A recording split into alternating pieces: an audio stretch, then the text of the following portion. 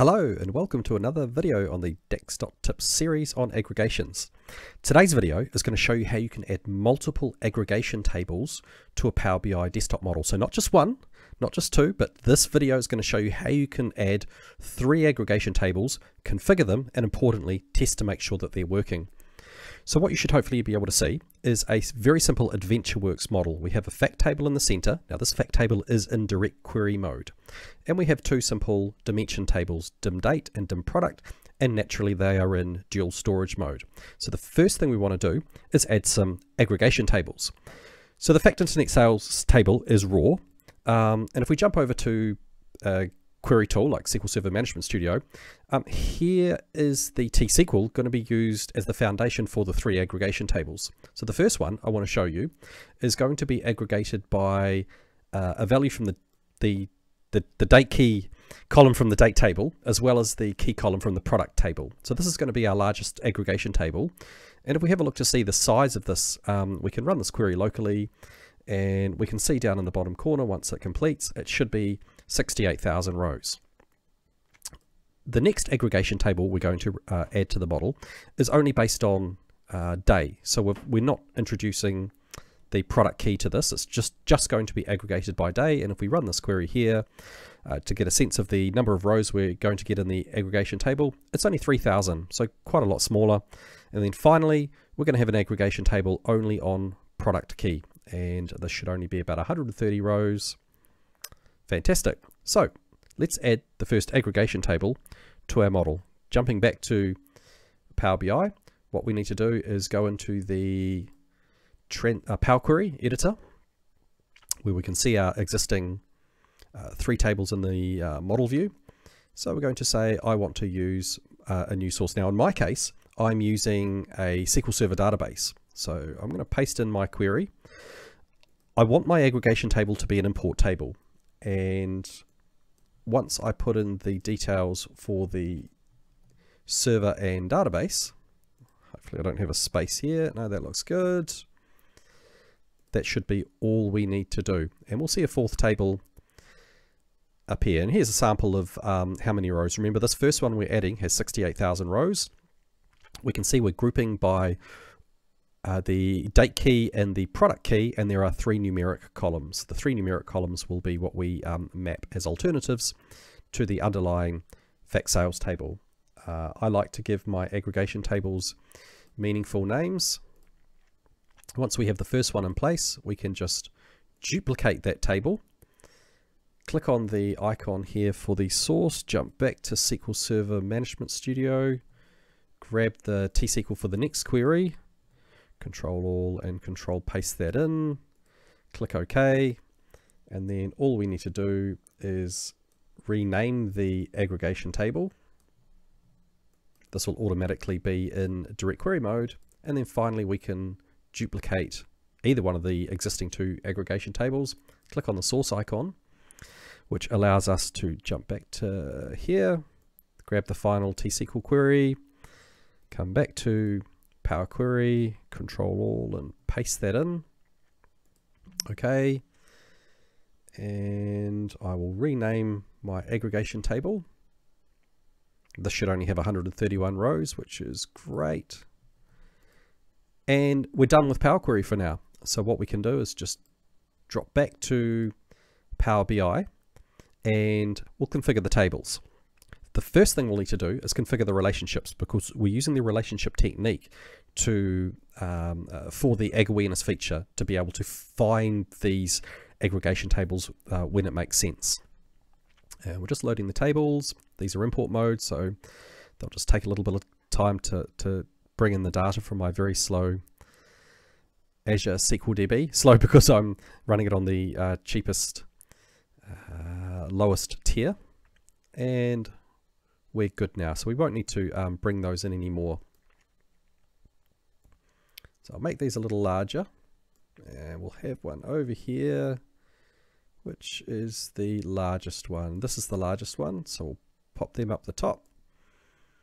The day one in the center and here is the smallest one just simply by product. So the product only relates to the product key. So let's um, drag that across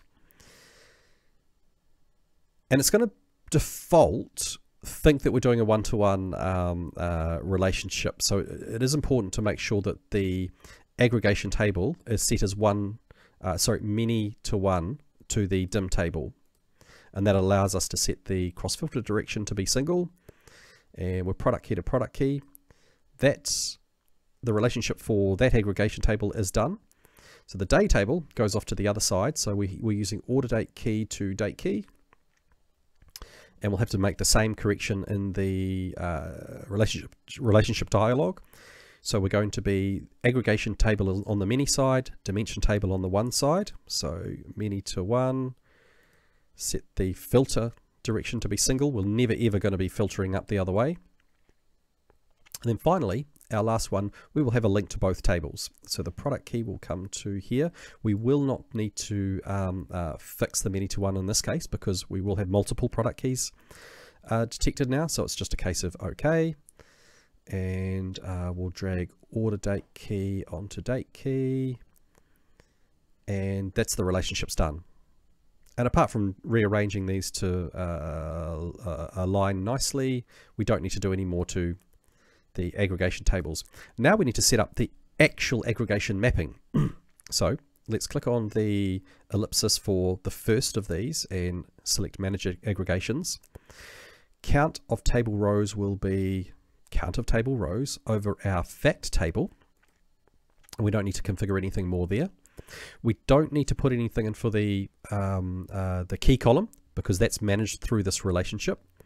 The order quantity is going to be a sum of fact internet sales and we, we scroll down order quantity. Now sales amount's probably not going to work and I'll show you why. Uh, when we go fact internet sales and come down we'll see that the sales amount column is grayed out.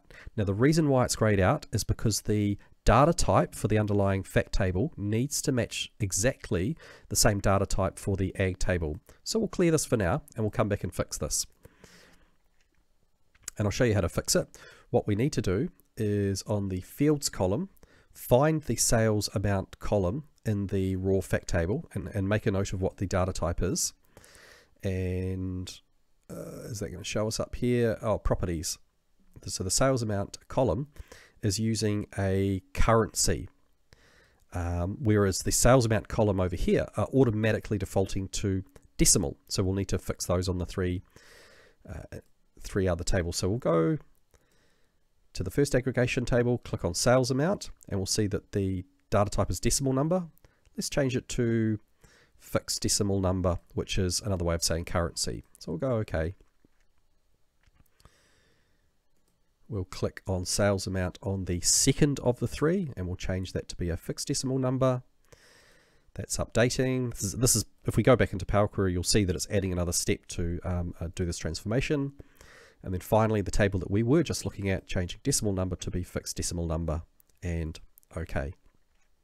You'll notice this table is already hidden because the action of uh, configuring any mapping at all on a table um, uh, will hide the table. We don't want end users to be building measures uh, or seeing columns in this table to build measures over them. We always want them to be still writing their DAX as if it is um, uh, using the, the uh, raw detail table uh, so we did this one, we'll go back into here, manage aggregations, we can see that the count of rows and order quantities is still there.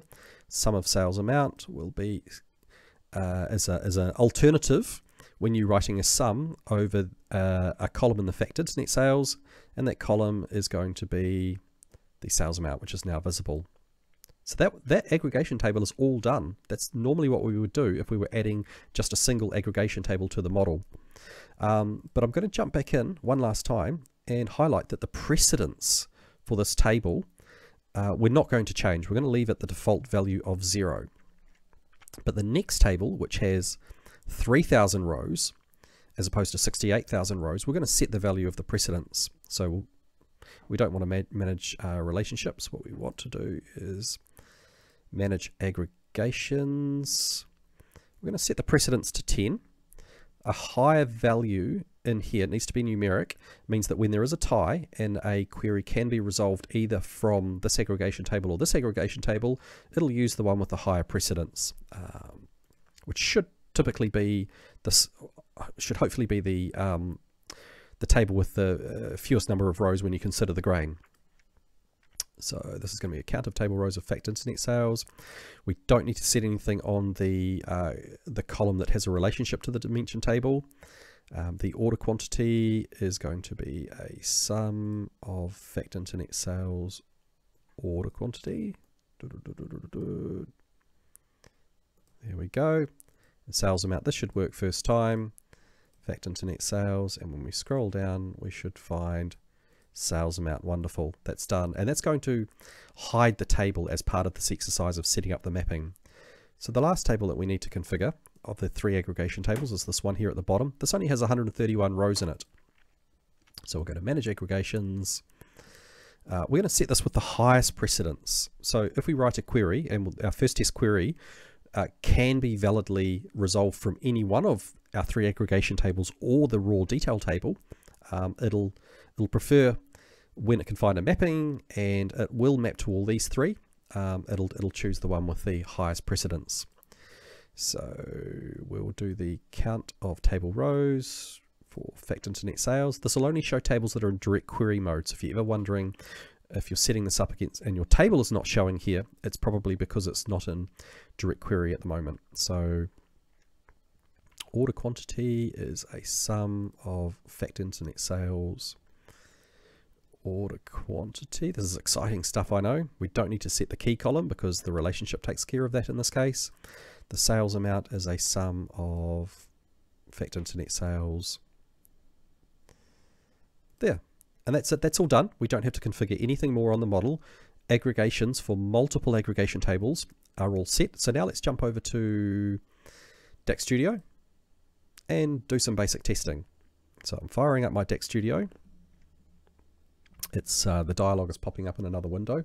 By launching it from the external tools bar, uh, Studio should be automatically connected to this Power BI model and we can see there the uh, the three tables that we just added and it have a slightly grayed out uh, icon there that, that suggests that they are hidden um, and then we have our three visible tables. So the very first uh, piece of DAX that we want to run is just a straight sum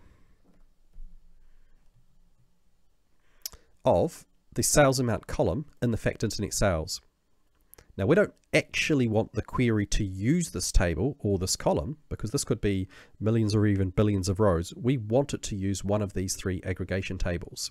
So how do we know that this is working? I'm going to click the server timings button in the ribbon and down here at the bottom we have a server timings tab and it's telling me that the query trace has now started.